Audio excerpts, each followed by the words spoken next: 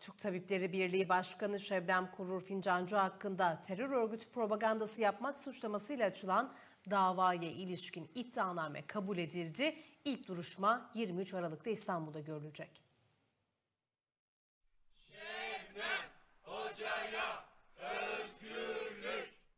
Irak Kürdistan Bölgesel Yönetiminin kontrolü altındaki topraklarda kimyasal silah kullanıldığı iddialarının araştırılması çağrısının ardından tutuklanan Türk Tabipleri Birliği Merkez Konseyi Başkanı Doktor Şebnem Korur Fincancı hakkında Ankara Cumhuriyet Başsavcılığı tarafından hazırlanan iddianame kabul edildi.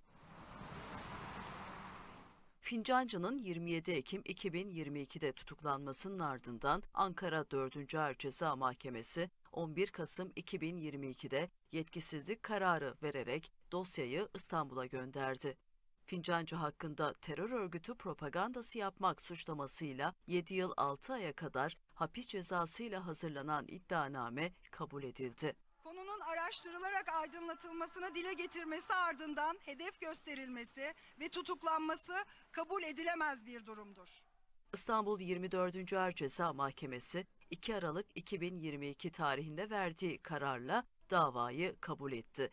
İlk duruşmayı 23 Aralık 2022 günü saat 09.30'a verdi. Türk Tabipleri Birliği mahkeme tarihini web sitesi üzerinden duyurdu.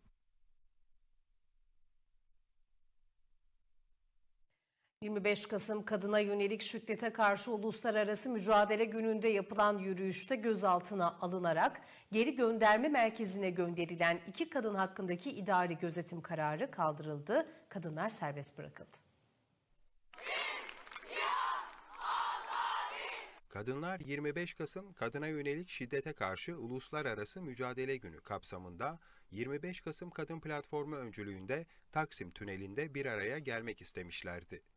Polis müdahalesiyle karşılaşan kadınlar tüm engellemelere rağmen sokak sokak yürüyüşlerini Jin Jian Azadi sloganıyla gerçekleştirmişti. Yürüyüşte 216 kadın darp edilip yerlerde sürüklenerek gözaltına alındı. Gözaltına alınan kadınlar aynı gece serbest bırakılırken biri İtalyalı, diğeri Azerbaycanlı olan iki kadın Karaköy Polis Karakolu'nda iki gün gözaltında tutuldu. Kadınlar daha sonra 27 Kasım günü Silivri'de bulunan Selim Paşa Geri Gönderme Merkezi'ne sevk edildi. Geri Gönderme Merkezi'nde tutulan kadınlar hakkında 29 Kasım günü sınır dışı ve ülkeye giriş yasağı kararı verildi. Bir haftadır GGM'de tutulan tutulan ve sınır dışı edilme tehlikesi yaşayan kadınlar için verilen idari gözetim kararına karşı 25 Kasım Kadın Platformu avukatları İstanbul Suh Ceza Hakimliği'ne itirazda bulundu. Kararı değerlendiren Suh Ceza Hakimliği, kadınların GGM'de tutulmaları yönünde verilen idari gözetim kararını bozdu. Öte yandan avukatlar kadınların sınır dışı edilmesi yönünde verilen karar içinde idari mahkemesine yürütmeyi durdurmaya dönük dava açacak.